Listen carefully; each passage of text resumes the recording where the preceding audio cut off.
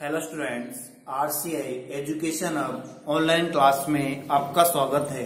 प्रिय विद्यार्थियों, आज की क्लास में अपन डिस्कस करेंगे कृषि रसायन। क्लास इलेवेंथ में लेक्चर नंबर एक जो अपना डिस्कस हो रहा था, उसमें आज अपन यौगिक का निर्माण कैसे होता है, इसके बारे में अपन डिस्कस करेंगे। पिछली क्लास में अपन ने तत्व परमाणु अणु की आरंभिक अवधारणा तथा यौगिक निर्माण का कुछ पार्ट अपन ने डिस्कस किया था। आज उसी यौगिक निर्माण को अपन आगे बढ़ाते हैं। आज मैंने आपको कुछ क्षारीय मूलक धनाइन और कुछ अम्लीय मूलक ऋणाइन के सूत्र दिए हुए हैं कि इनको अपन किस तरह से यूज़ करेंगे। तो आपको मैं थोड़ा सा रिमाइंड करवा देता हूँ कि क्षारीय मूलक माना कि a प्लस एक्स है। मैंने बताया था आपको पिछली क्लास में, धनायन क्षारीय मूलक का निर्माण कैसे होता है परमाणु के इलेक्ट्रॉन त्यागने से। ऋणायन अम्लीय मूलक का निर्माण कैसे होता है परमाणु के इलेक्ट्रॉन ग्रहण करने से। प्लस एक्स आपका क्या है? धनात्मक आवेश की संख्या। एक, दो, तीन, चार। माइनस वाई क्या है? ऋणात्मक आवेश की संख्या। जब ये दोनों मिलेंगे, तब यहाँ पर ए अपनी जगह रहेगा बी अपनी जगह रहेगा। परंतु जो आवेश है, वो आवेश की संख्या है, वो बिना चिन्ह के क्या हो जाएँगे? क्रॉस मल्टीप्लाई हो जाएँगे। ए के पास तो आ जाएगा वाई का नंबर वाई माना कि एक है, दो है, तीन है, और बी के पास आ जाएगा आपका एक्स का नंबर अब यहाँ पर अपने पास में आवश्यकता होने पर, ये भी बताया था मैंने आप अपनी क्लास पर, आवश्यकता होने पर क्या करते हैं अपन? सरल अनुपात में चेंज करते हैं। क्या करते हैं बेटा? सरल अनुपात में चेंज करते हैं।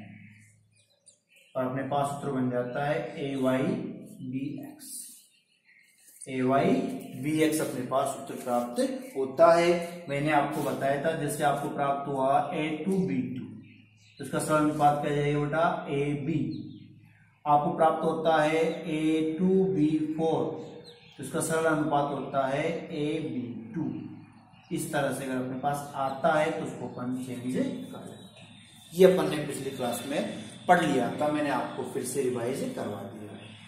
अब देखिए यहाँ पर कुछ मैंने आपको धनाइन क्षार्य मूलक और कुछ ऋणाइन अम्लीय मूलक यहाँ पर लिखे हुए हैं। इनको मैं एक बार आपसे परिचित करा देता हूँ। Sodium N A plus potassium K plus calcium C A plus two magnesium M G plus two aluminium L plus three barium B A plus two zinc Z N plus two अब यहाँ पर देखो copper के पास में plus one plus two इसका मतलब क्या है? यहाँ पर जो आप आगे चल के पढ़ोगे ऑक्सीकरण अवस्था। ध्यान दो, ऑक्सीकरण अवस्था। तो यहाँ पर कॉपर दो प्रकार की ऑक्सीकरण अवस्था में पाया जाता है, आप अभी इतना जान लो ऑक्सीकरण अवस्था क्या होती है, आगे क्लास में अपन पढ़ेंगे। यहाँ पर जब प्लस वन होता है, तब को बोलते इसको क्यूप्रस और प्लस टू होता है, तब बोलते उसको क्यूप्रिक ये आपको हमेशा ध्यान रखना है, कम वाले में। कोई भी परमाणु कम ऑक्सीकरण अवस्था में रहता है तो इस लगता है क्यूप्रस फेरस, मर्क्यूरस, स्टेनस। अस लगता है। और अगर ज़्यादा वाली अवस्था में तो क्या लगता है? इक लगता है। जैसे देखो आप, क्यूप्रस और क्यूप्रिक, इस और अस या ic. Ferrous plus two, ferric plus three, stannous plus two, stannic plus four, और ये आपका ये अमोनियम। और भी ये आपको नोट्स में मिल जाएँगे।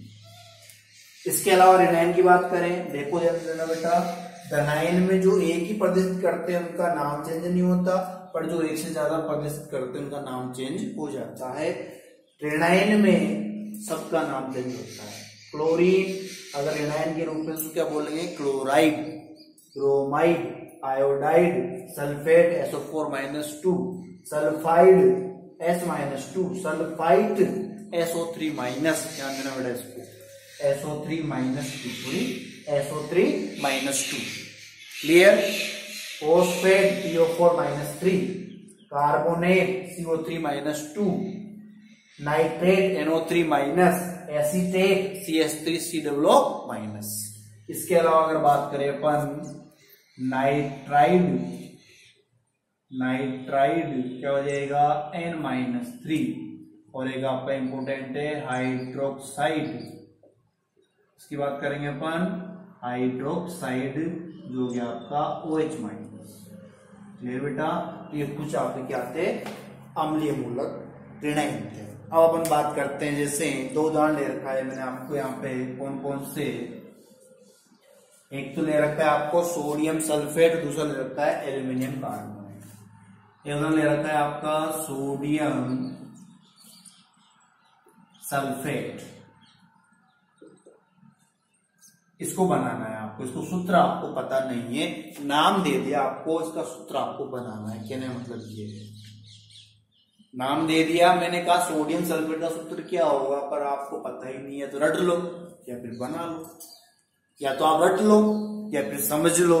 तो बेटर क्या है आपका, समझना तो वहाँ पर आपको बहुत सारी चीज़ें भी पता होगी कि सोडियम में आवेश क्या होता है, सल्फेट का आवेश क्या होता है। आप देखो पहला पार्ट ध्यान देना बेटा, अधिकतर नाम में कुछ एक नाम आएँगे, आपको बताएँगे आगे, कुछ एक नाम आएँगे जिसमें ऋणायन पहले आता है, बाकी अधिकतर नामों में पहला नाम किसका होता है? धनायन का होता है। बाद का नाम किसका होता है? ऋणायन का होता है। तो सोडियम, और दूसरा पार्ट क्या है बेटा? सल्फेट। कौन सा पार्ट है? सल्फेट। अब सोडियम का देखो यहाँ से क्या सूत्र काम मिलेंगे Na प्लस क्या काम मिलेंगे? एन ए प्लस प्लस लिखो या प्लस वन लिखो, बात एक ही है। प्लस वन या प्लस बात एक ही है।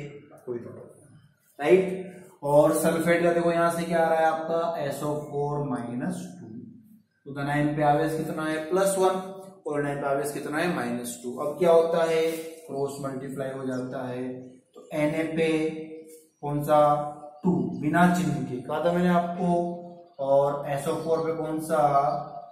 एक बिना चिन्ह के। क्लियर तो यहाँ पर अपने पास सूत्र क्या बन जाएगा? देखो बेटा N A two SO four क्या बन जाएगा? N A two SO four तो सोडियम सल्फेट का सूत्र क्या हो गया? N A two SO four N A two SO four इसका बन गया सोडियम सल्फेट का सूत्र बन गया। क्लियर बेटा? आगे बात करते हैं, दूसरा लेते हैं एल्यूमिनियम कार्बोनेट कौन सा लेते हैं? एल्यूमिनियम कार्बोनेट देखिए एल्यूमिनियम कार्बोनेट क्लियर तो इसमें पहला पार्ट कौन सा है? धनाइन का, वो लिख लीजिए एल्यूमिनियम दूसरा पार्ट कौन सा है? कार्बोनेट। कौन सा पार्ट है? कार्बोनेट। यहाँ से देखो, एल्यूमिनियम देखो आप एल प्लस कौन सा है? एल प्लस कार्बोनेट का जैसे देखो सीओ थ्री माइनस टू आपको टू माइनस भी लिख सकते हो आप थ्री प्लस भी लिख सकते हो माइनस टू भी लिख सकते हो प्लस थ्री भी लिख सकते हो। दोनों ही तरीके सही है एल प्लस थ्री अब यहाँ पर वही क्या होता है? आवेश की संख्या क्या हो जाएगी? क्रॉस मल्टीप्लाई एल के नीचे तो क्या आ जाएगा? टू और सीओ थ्री के नीचे क्या आ जाएगा? आपका थ्री तो अपने पास क्या बन जाएगा? एल टू सीओ थ्री का whole thrice L two CO three का होल थ्राइस तो यहाँ पर अपने पास जो सूत्र आएगा वो क्या आएगा? एल टू सीओ थ्री का whole twice sorry whole thrice thrice बोलते हैं यहाँ पर। टू को ट्वाइस बोलते हैं। जब ब्रेकेट लगाते हैं। ब्रेकेट कहाँ लगाएँगे बेटा? ध्यान रखना। जब दिए गए मूलक में एक से अधिक परमाणु हो। जब दिए गए मूलक में एक से अधिक परमाणु हो तो वहाँ पर उसकी संख्या को अपन व्यक्त किसमें करते हैं? ब्रैकेट के नीचे जैसे अगर मैं बिना ब्रैकेट लिखूँगा तो पता नहीं लगेगा कि ये सी की संख्या है या ओ की संख्या है? अब ब्रैकेट में पता लग गया कि ये सीओ थ्री आपकी ये संख्या है, तीन। क्लियर होगी बेटा? कोई कंफ्यूजन नहीं होना चाहिए आपका। हर चीज़ क्लियर है। ब्रैकेट का यूज़ करेंगे? जैसे मैं बात करूँ धनायन का कोई दिक्कत है नहीं। हो सकता अपनी यहाँ यूज़ कर ले। देखो ब्रैकेट का यूज़ करेंगे? यहाँ पे ब्रैकेट यूज़ करेंगे, यहाँ पे ब्रैकेट यूज़ करेंगे, यहाँ पे ब्रैकेट यूज़ करेंगे हम सब पे ब्रैकेट यूज़ करेंगे। कब? जब इनकी संख्या दो, तीन, चार आती है, किसमें? सूत्र में। जब इनकी संख्या कितनी आती है? दो, तीन, चार आती है सूत्र में, तब इनमें क्या यूज़ करेंगे अपन? ब्रैकेट यूज़ करेंगे। क्लियर अब देखिए ओएच में ब्रैकेट यूज़ करेंगे। नेक्स्ट देखते हैं अपन। आप जितने उदाहरण करते जाओगे, मैंने आपको नोट्स में उदाहरण भी दिए हैं जो आपको करने हैं। उदाहरण भी दिए हैं जो आपको करने हैं। जैसे मैंने ले लिया यहाँ से बेरियम हाइड्रोक्साइड इसकी बात कर ली मैंने बेरियम हाइड्रोक्साइड इसकी बात कर ली? बेरियम हाइड्रोक्साइड क्लियर अब बेरियम का सूत्र यहाँ बेरियम लिख लो आप यहाँ पर बेरियम और लिख लो हाइड्रोक्साइड हाइड्रोक्साइड तो यहाँ पर हो गया आपका बी ए प्लस टू और हाइड्रोक्साइड में हो गया ओ एच माइनस क्लियर अब इसको क्या करो? क्रॉस मल्टीप्लाई क्या हो जाएगा? आवेश की संख्या तो बी ए पे कितना आवेश आ गया? एक। और ओ एच पे कितना आवेश आ गया? आपका दो। तो लिखते समय अपन क्या करेंगे? बी ए ओ एच का होल ट्वाइस क्या जाएगा? बी ए ओ एच का होल ट्वाइस यहाँ पर इसका सूत्र क्या बन जाएगा बेटा? बी ए ओ एच का होल ट्वाइस जिसको कहेंगे बेरियम हाइड्रोक्साइड क्या बोलेंगे?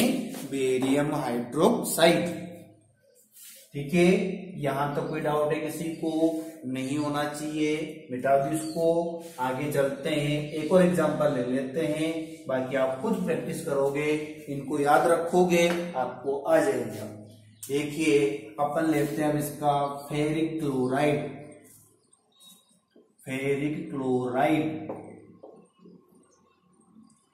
ठीक है? फेरिक। इक में क्या जाती है? ज़्यादा वाली ज़्यादा वाली कौन सी है? Plus three. क्लोराइड का क्या होता है? सी एल माइनस या कुछ को देख देख के करो और जैसे प्रैक्टिस करोगे तो आपको सारे सूत्र आ जाएँगे। आप कोई सा भी ले लो। इधर से ही ले लो, इधर से ले लो, कोई सा भी ले लो, आप बना लो। कोशिश करो, आ जाएँगे आपके पास। सी एल माइनस तो क्रॉस मल्टीप्लाई करेंगे तो क्या जाएगा? एफ़ पे तो एक आ जाएगा और सी एल पे क्या जाएँगे? तीन। तो अपने पास सूत्र क्या बन जाएगा? F E C L three क्या बन जाएगा?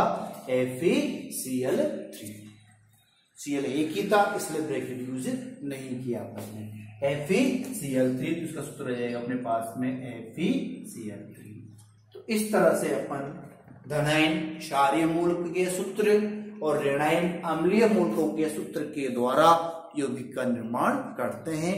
जैसा मैंने आपको बहुत सारे एग्ज़ाम्पल बताए हैं और आपको नोट्स में घर पे करने के लिए एग्ज़ाम्पल दिए हैं। तो आप एच डब्ल्यू में उन एग्जाम्पलों करोगे नोट्स उतारने के बाद में उन एग्ज़ाम्पल को आप क्या करोगे? सोल्व करोगे। ठीक है? कहाँ पे? रफ कॉपी में, फिर उसको फेयर कॉपी में कर लोगे। चाहे फेयर कॉपी में जगह छोड़ देना। क्लियर दूसरा काम क्या करना है आपको? इसी के साथ में एक पेज में परमाणु क्रमांक एक से लेकर तीस तक के तत्वों के नाम वो उनका क्या लिखोगे? सिंबल मतलब उनका प्रतीक लिखोगे। नाम और प्रतीक, परमाणु क्रमांक एक से लेकर तीस तक के नाम और प्रतीक आपको लिखने क्लियर तो ये दो काम आपको करने हैं इन, इस क्लास के नोट्स उतारने के बाद में।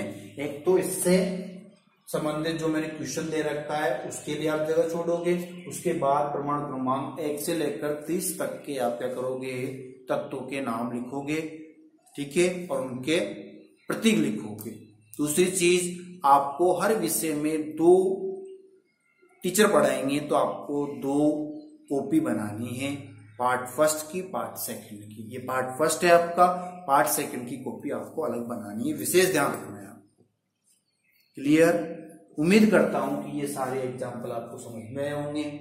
वीडियो को आप लाइक कीजिए शेयर कीजिए सब्सक्राइब कीजिए। आज के लिए इतना ही। Thank you class